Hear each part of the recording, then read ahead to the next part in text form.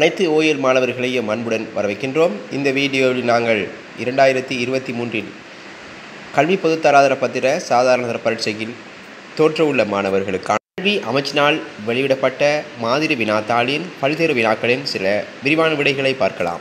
வினாவுக்கு செல்வதற்கு முன்னர் எமது சேனலை இன்னும் சப்ஸ்கிரைப் பண்ணாதவர்கள் சப்ஸ்கிரைப் பண்ணுமாறும் தொடர்ச்சியாக நோட்டிஃபிகேஷனை பெற்றுக்கொள்வதற்கு அருகில் உள்ள பெல் ஐக்கோனை அழுத்துமாறும் கேட்டுக்கொள்ளப்படுகிறீர்கள். வினாவுக்கு செல்வோம். பத்தொன்பதாவது வினா. இதில் இரண்டு பரிசோதனை குழாய்கள் தரப்பட்டுள்ளது. அதன் பின்னர் வினா ஒன்று வினவப்பட்டுள்ளது. தாக்க வீதம் தொடர்பாக கண்டறிவதற்காக மேற்கொள்ளப்பட்ட பரிசோதனை ஒன்றில் சம செறிவும் சம கனவளவும் உடைய எச்சிஎல் கரைசல் கொண்ட பி மற்றும் கியூ எனும் பரிசோதனை குழாய்களினுள் சம திணிவுள்ள மக்னீசியம் நாடாக்கீலம் ஒன்றும் மக்னீசியம் சிறு துண்டுகளாகவும் ஒரே நேரத்தில் இடப்பட்டுள்ளன. இங்கு பெறப்படும் அவதானிப்புகள் தொடர்பாக பின்வரும் கூற்றுகளை கருதுக என வினவப்பட்டதன் பின்னர் கூற்று ஏ தரப்பட்டுள்ளது. கியூ குழாயில் வாயு குமிழிகள் வெளியேறும் வேகம் பி குழாயை விட அதிகம் என வினவப்பட்டுள்ளது. ஆம் இந்த கூற்று உண்மை. ஏனெனில் இதில் ஆரம்பத்தில் தரவில் தரப்பட்டுள்ளது சம செறியும் சம கனவளவையும் கொண்ட எச்சியல். அதாவது எச்சியல் இரண்டு குழாயினும் சம அளவு இடப்பட்டுள்ளது. அது மட்டுமல்லாமல் அதன் செறியும் சமனாகவே காணப்படுகிறது. எனினும் பி எனும் பரிசோதனை குழாயில் மக்னீசியத்தை பெரிய துண்டாகவும் கியூவில் மக்னீசியத்தை சிறு துண்டுகளாகவும் இடப்பட்டுள்ளது. எனவே தாக்க மேற்பரப்பு கியூவில் அதிகமாக காணப்படுவதன் காரணமாக எச்சியலுடன் மக்னீசியம் விரைவாக தாக்கமுற்று. ஐதரசன் வாயு விரைவாக வெளியேறும். கிவு குழாயில் பி குழாயை விட. இதனால் நாங்கள் கூறலாம் கூற்று ஏ என்பது உண்மை என.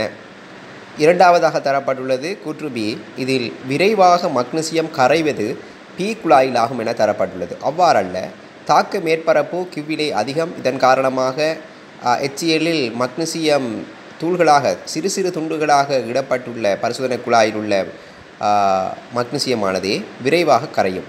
எனவே ஏ என்பது கூற்று ஏ கூற்று சரியாகவும் பி கூற்று பிழையாகவும் கருதப்படும். இதில் முதலாவது விடை தெரிவில் தரப்பட்டுள்ள கூற்று ஏ உண்மையாகும் கூற்று பி தவறாகும் எனும் விடை சரியாகும். இதனால் பத்தொன்பதாவது வினாவுக்கு முதலாவது விடை சிறந்த விடையாகும். அடுத்த வினாவுக்கு செல்வோம். இருபதாவது வினா. தாவர பாகங்கள் சில கீழே தரப்பட்டுள்ளன. பி சிரட்டை கியூ உருளைக்கிழங்கு ஆர் இருவித்திலை தாவர இலை நரம்பு. இவற்றுள் புடைக்கள விளையம் ஒட்டுக்கள விளையம் மற்றும் வல்லூர்கள விளையம் என்பவற்றை கொண்ட தாவர பாகங்கள் குறிக்கும் எழுத்துக்கள் முறையே எது என வினவப்பட்டுள்ளது.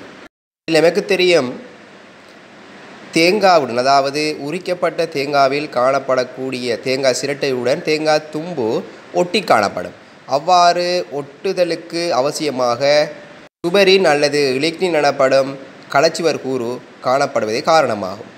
வல்லூர்கள விளையங்களில் வல்லூர்கள விளைய களங்கள் உயிரற்றது காரணம் அதன் களச்சுவர்களில் லிக்னின் சுபரின் போன்ற தடை காணப்படுவதாகும். இதில் பி என்பது கட்டாயமாக வல்லுறுக்கள விளையங்கள் காணப்படும் ஒரு பகுதியாகும். அதாவது சிரட்டையில் வல்லுறுக்கள விளையம் கட்டாயமாக காணப்படும்.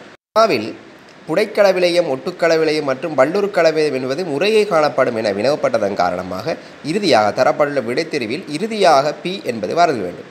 எனவே இறுதியாக பி தரப்பட்டுள்ளது இரண்டாவது விடையில் மாத்திரமாகும். இத்துடன் எமக்கு தெரியும் புடைக்கலவிலைய களங்கள் உருளைக்கிழங்கில் அதிகளவாக காணப்படும். இதன் காரணமாக ஆரம்பத்தில் கியூவும் இறுதியில் பியும் வருத வேண்டும். அவ்வாறு வரக்கூடிய விடை இரண்டாவது விடையாகும்.